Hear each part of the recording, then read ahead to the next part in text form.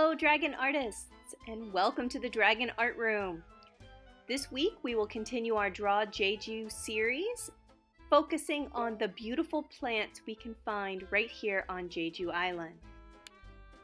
So today as I draw this beautiful flame tree, I took a little bit more of an abstract approach or a simplified approach. So I'm not trying to draw my picture to be realistic but I'm kind of adding a little bit of style to it.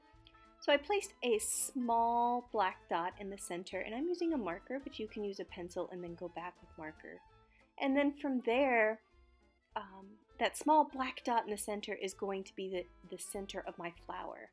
And then I have drawn the oval shapes around the outside of that dot and those are going to be the blooms of the flower.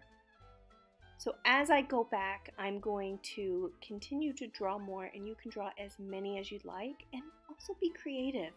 I'm using ovals, but maybe you would like to use a different shape. And then I'm also using a lot of different sized markers on this picture. So make sure that you have markers and black pens of all different sizes. And then you can be very creative with the lines that you use.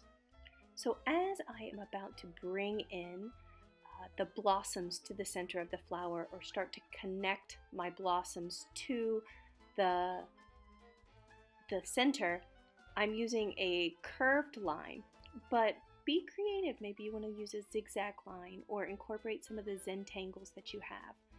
Now I'm using the curved line to try to add a little bit of depth or incorporating that element of art space inside my line.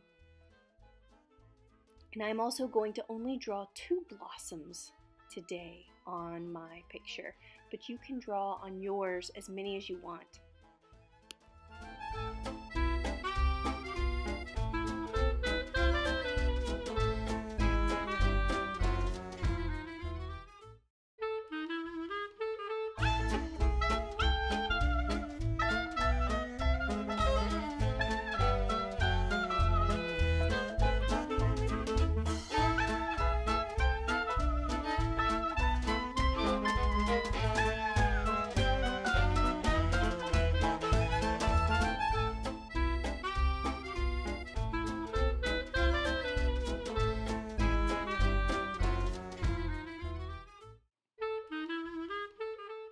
As I'm continuing to add these blossoms, I am going to think about where I want to place my branches.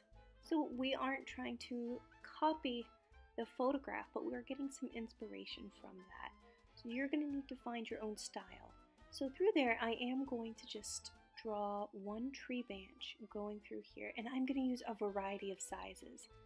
Also, pay attention to how I'm overlapping.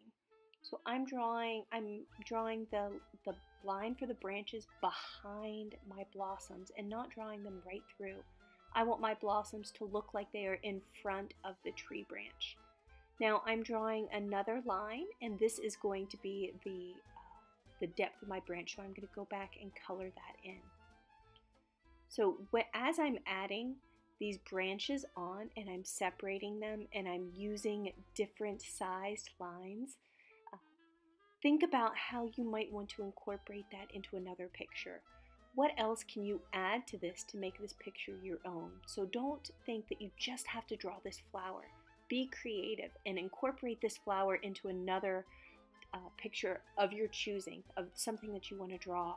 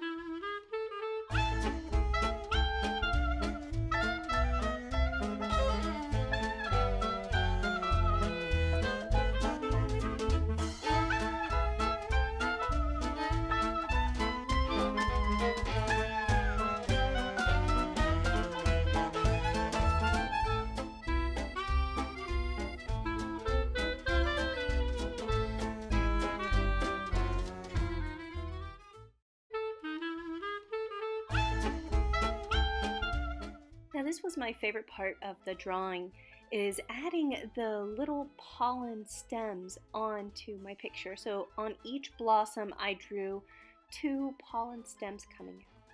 And remember that we aren't trying to replicate the picture, but we are this is an opportunity for us to be creative. So think about how you might want to change that. You could do that with shapes, you can do it adding patterns or Zentangles. So this is just an uh, uh, to guide you, but you, I want you to come up with your own ideas.